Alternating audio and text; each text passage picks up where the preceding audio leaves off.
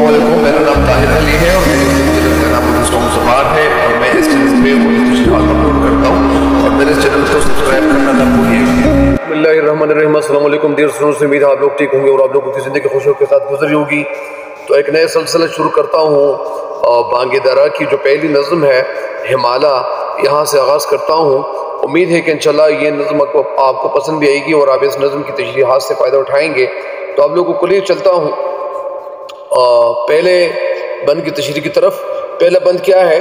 ए हे माला, ए फसीली किशोरी हिंदुस्तान, चूमता है तेरी पेशानी को झुक कर आसमां, तुझ में कुछ पैदा नहीं, देरी ना रोजी के निशान तू जवा है गर्दिशी शाम सहर के दरमिया, एक जलवा था कलीमी तूरी सीना के लिए तू तजल्ली है सरापा चश्मी बीना के लिए।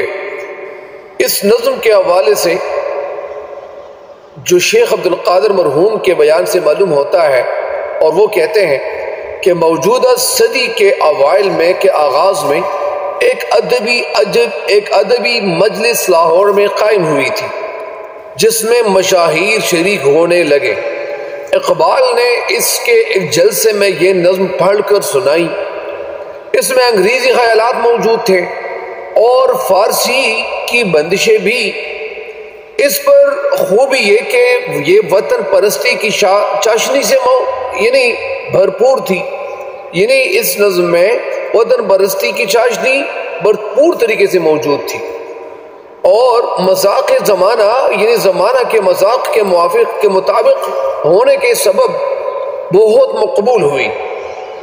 शेख साहिब मरहूम ने अप्रैल 1901 ईस्वी में मुखजन निकाला तो उसकी पहली इशात में ये नज़म छापी और लिखा कि अंग्रेज़ी ख्याल को शायरी का लिबास पहना कर मलिक शराए इंग्लिस्तान वर्ड्स वुड के रंग में ये नज़म कही गई है। मुखजन इसमें इसके बारह बंद छपे थे।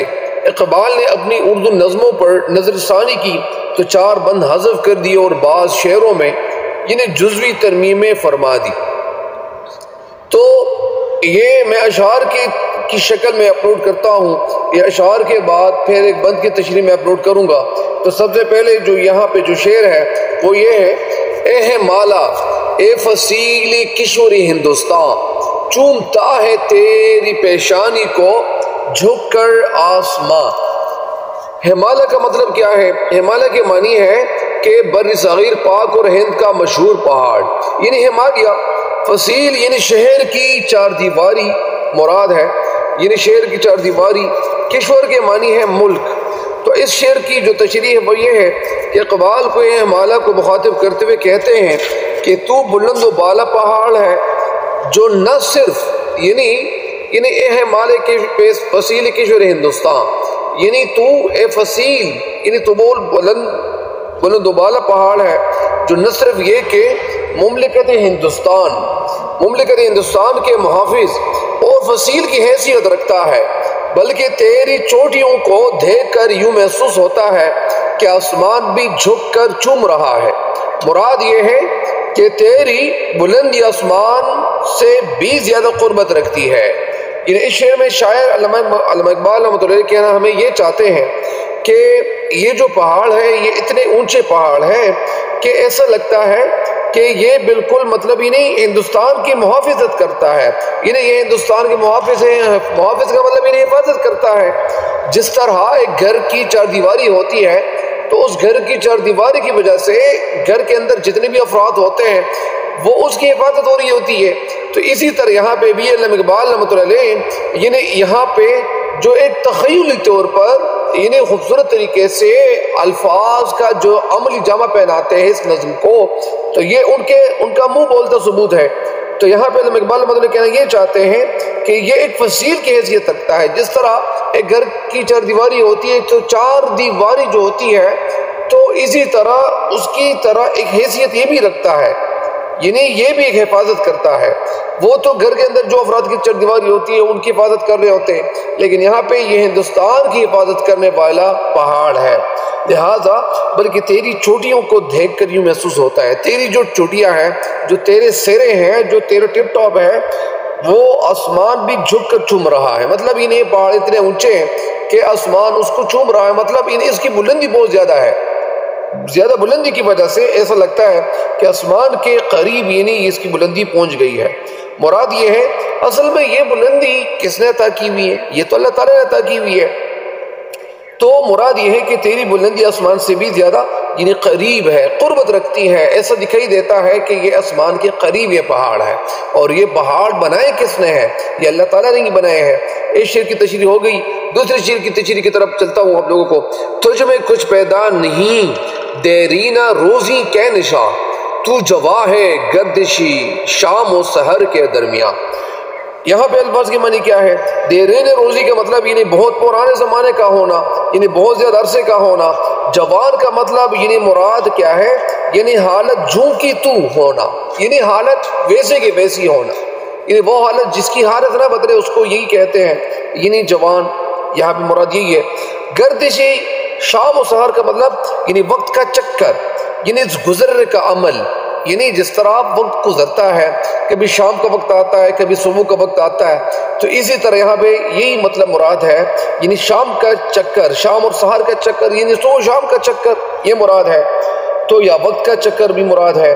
तो इस शेर की जो तशरी बनती है, वो यही बनती है कि अल्लामा मोहम्मद इकबाल शेर में, यानी ये कहते हैं कि, ए माला तेरा वजूद, वो के ऊपर भी पेश और जीम के ऊपर भी पेश।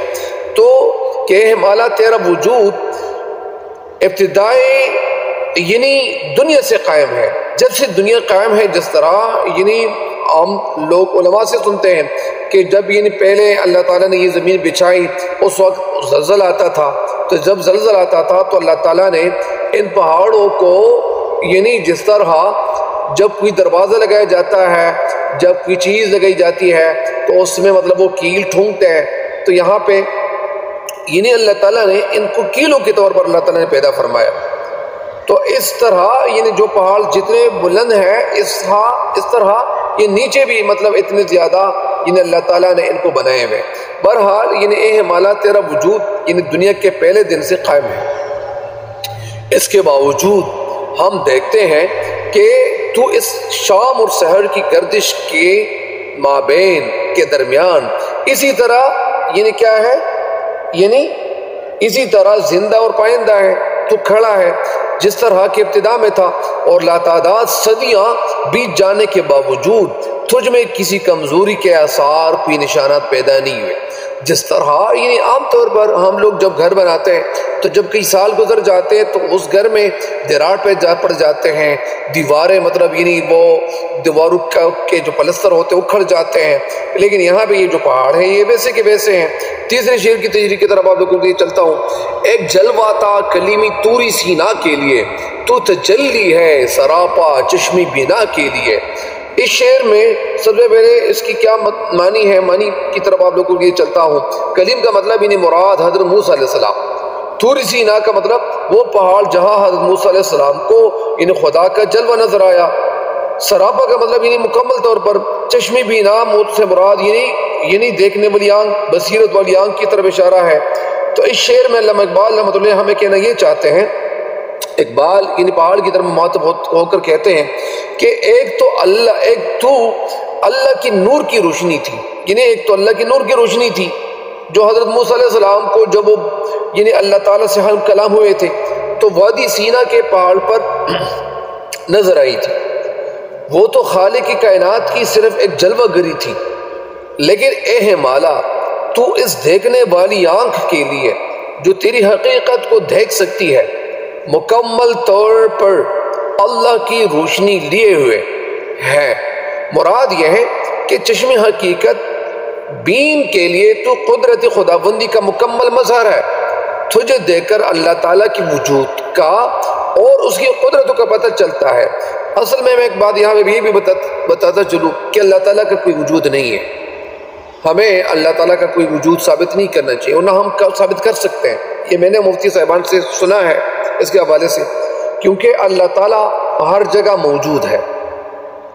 और हमें तो ये भी पता चलता है कि जब हम अल्लाह ताला के हवाले से सोचेंगे, अल्लाह ताला ने जिन चीज़ों में जो सिफात पैदा कर रखी है, अगर हम सोचने लग जाएँगे तो सबसे पहले हमें अपने आप के हवाले से सोचना चाहिए।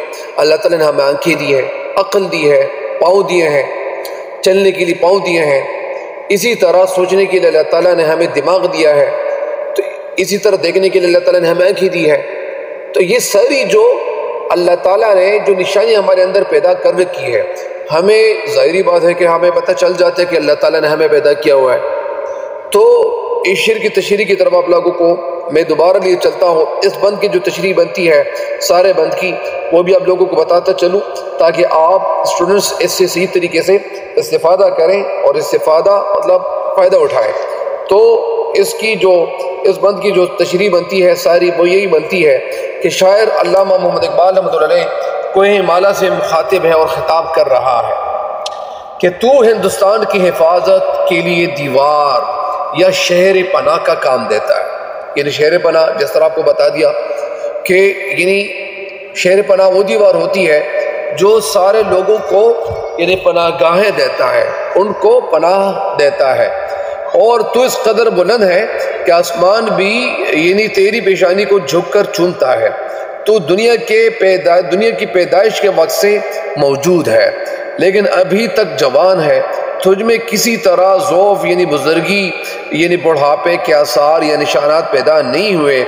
हज़रत मूसा सलाम ने, हज़रत मूसा सलाम ने जबली तूर पर तजली देखी थी, लेकिन अक्लमंदू की निगाह में दूसरा पा तजली है। यानी तेरा वजूद सरतापा कुदरत खुदाबंदी है। मुझे उम्मीद है कि इन आप स्टूडेंट्स इस तशरी से फ़ायदा ज़रूर भी उठाएँगे और अपने दोस्तों के साथ भी शेयर करेंगे। तब तक के लिए मुझे दे जगह इजाज़त। अल्लाह ने कहबान